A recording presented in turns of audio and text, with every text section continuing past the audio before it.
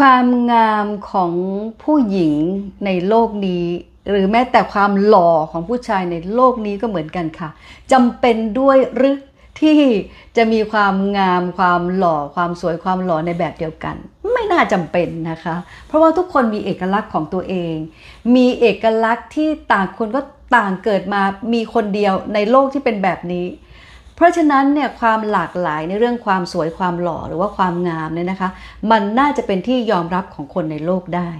วันนี้โอป้าหาเรื่องนี้มาเล่าสู่กันฟังค่ะ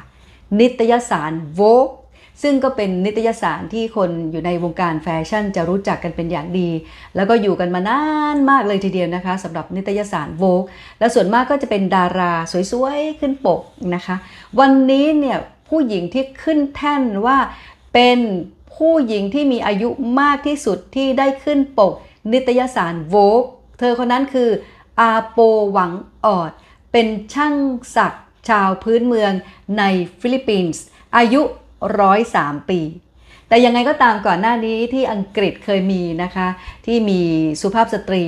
เป็นนักแสดงค่ะ ขึ้นปกนิตยสาร Vogue มาแล้วอายุ 80 ปีในตอนนั้นนะคะ แต่ที่ฟิลิปปินส์เนี่ยที่แหวกแนวนั่นก็คือไม่ได้เป็นดาราค่ะ เป็นสุภาพสตรีคนหนึ่งเท่านั้นเองที่ทำงานเรื่องของสักและเธอก็บอกว่าการสักเนี่ย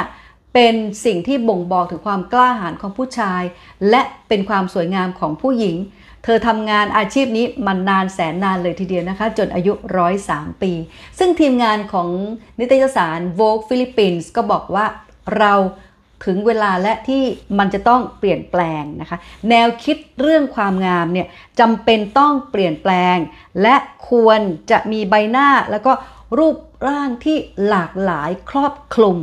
สิ่งที่เราหวังจะสื่อสารคือการพูดถึงความงดงามของมนุษย์อะ นี่เป็นแนวคิดอีกแนวคิดหนึ่งนะคะ ซึ่งน่าจะทำให้ผู้คนในโลกนี้ยอมรับได้มากยิ่งขึ้น ไม่เช่นนั้นแล้วเราก็คงจะต้องวิ่งตามเทรนด์ความงามที่เป็นที่นิยมของคน ทั่วโลกว่าจะต้องแบบนี้เท่านั้นถึงจะสวย แบบนี้เท่านั้นถึงจะหล่อ ทุกคนมีความงามอยู่ในตัว มีความหล่ออยู่ในตัวอยู่แล้วนะคะ เพราะฉะนั้นหันมามองสิ่งดีงาม และโดยเฉพาะอย่างยิ่งด้านในของคนเราเนี่ยแหละค่ะ ที่จะบ่งบอกถึงความงามได้ดีที่สุด นั่นก็คือจิตใจนั่นเองนะคะ วันนี้โอป้าหาเรื่องนี้มาเล่าสู่กันฟังค่ะ